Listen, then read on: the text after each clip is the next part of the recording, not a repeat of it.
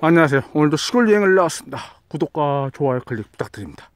예, 시골 여행을 나왔다가 좀 약간 여기는 작은 산골 마을이에요. 비닐하우스도 보이고 작은 밭도 보이고 개소리도 들리고 잡소리도 들리고 이쪽으로 올라가서 한번 특이한 집이 좀 레이더에 감지됐어요. 가까이 가서 한번 어떤 집이 있는지 봐야겠어요. 보니까 약간 좀 비탈길 좀 올라가 볼게요. 저 건물, 저 위에 있는 저 건물 보러 가는 건 아니고요. 저건 뭐 어디에나 있는 스타일이고 약간 좀 특이한 집이 있어요. 올라가 보면 희뿌옇게 여러분이 보여 보이실지도 모르긴 하는데, 오, 개 여기 장난이 아닌데?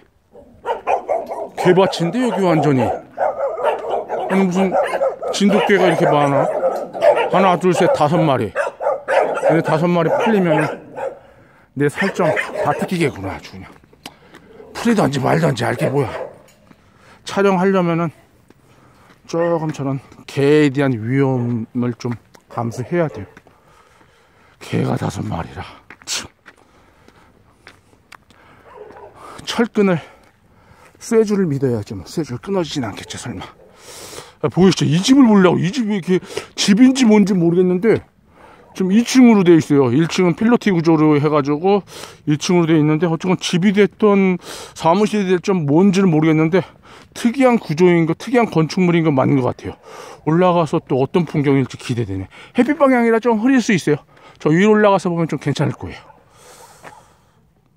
아까 그 일반 건축물 바로 옆에 이런 게 있거든요. 오, 휴게실인가?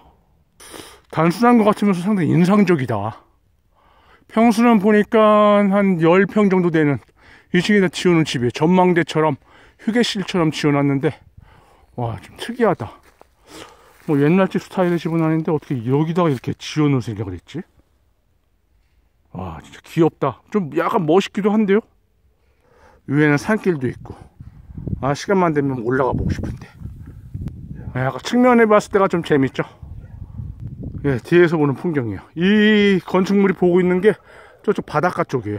풍경은 좋아요.